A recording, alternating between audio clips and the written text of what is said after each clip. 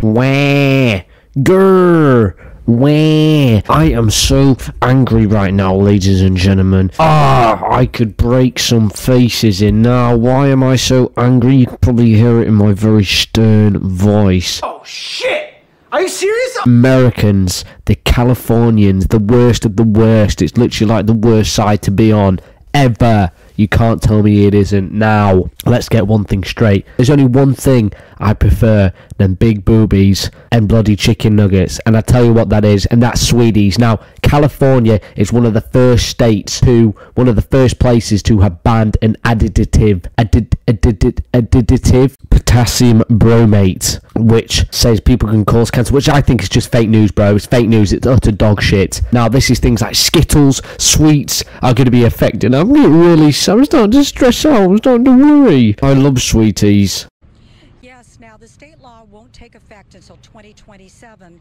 Ah, so we have like four years to stockpile sweets. I'm going to start now. I'm going to have like a little black market as well. I'm going to sell them on the side. So if people actually want any, I'll give you my secret WhatsApp number or something like that. You can drop me a text. I'll get them fucking delivered to you by pigeons. Are reported to cause things like memory loss and hyperactivity in children. Fake news. Just made no sense to us that kids in America were getting, and in California, were getting significantly less protection from these chemicals than kids in other countries around the world. With the passage of the California Food Safety Act, change is blowing through the food industry in California. Banned are red dye number three, potassium bromate, brominated vegetable oil, and propylparaben. See, what a load of nonsense. They just throw loads of long words at you so you don't know what you're talking to make you feel small. I like sweeties. I want these sweeties, and people are banning them, and it's really, really, really annoying me. How can someone tell me what to eat? If I want to eat a red Skittle, I'm going to eat a goddamn red Skittle. If I want to eat a red fucking swishy swirly thing with loads of sugar in it, I'm going to eat a bloody swishy swirly thing with loads of sugar in it. It's a disgrace. What is this fat man over in California? You know what I mean? It's not exactly the pinnacle of health either. His cheeks are a bit chunky. I didn't see his bottom half, but I can just tell, alright? I've got a sense for this. I can smell it. Chunky monkey, fucking ready to punky, man. It's not his call. How can you tell me what I can and can't eat, bro? I want to eat this piece of paper. it might not taste good, but I can do it. According to doctors, all four can cause cancer, hyperactivity, who the fuck eats chicken noodles like soup and shit? Mmm, sweeties. Oh, ah, fuck, he actually is in quite good shape. everyday foods, including Oh, look at that. Oh, my God. Oh. is not a difficult change for companies to make. In fact, some American companies have voluntarily changed the chemicals on their own. If Coca Cola can do it, and Gatorade can do it, and Papa John's can do it, and Dunkin' Donut can do it, and they're still selling plenty of pizzas, and plenty of soda, and plenty of donuts, we have confidence that all these other companies can do it as well. Parents we saw out grocery shopping today seem to agree. They want their children to be healthy and felt the change was minor. How dare my parents want me to be healthy? This is just joke. It's not your decision, Mum. If I want the red Skittles that give me cancer, let me have the fucking red Skittles to give me cancer.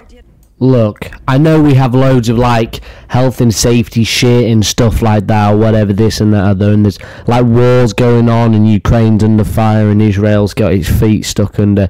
But this is much more serious, alright? I want to fight this. If you agree with me, we are taking this to war. We are taking our guns, we are taking our shooters, we are going to fight this with violence. They cannot tell me I can't eat a red skittle or a red fucking swirly thing. It's a disgrace. It's an absolute joke. I hate my life. My life is. My whole computer just shut down. That's how much this shit means to me. It just exploded. It imploded on my computer. But can you believe this dog shit is utter muck? I can't believe. We gotta look after people. We gotta look after their. Uh, Kenta, me, me, me. Bro, people are getting blown up in like seven different countries right now. There is much more serious shit than what colour my Skittles are, alright? This is a foot and jolt, man. And I am.